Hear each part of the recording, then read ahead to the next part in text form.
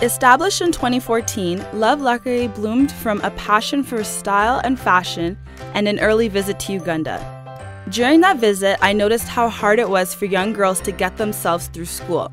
It was then that Love Lakeri was sewn together to give them a chance. With our fabrics that are hand selected from Kampala, Uganda, supporting local businesses there, and sewn to create the colorful patterns that have come to describe Love Lakeri's accessories, we are creating a mark on the world's fashion scene.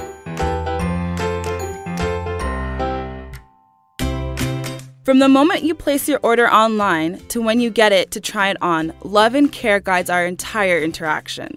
Delivering a classic look in an age old vintage style, beaming with culture that is giving hope and smiles to so many along the way.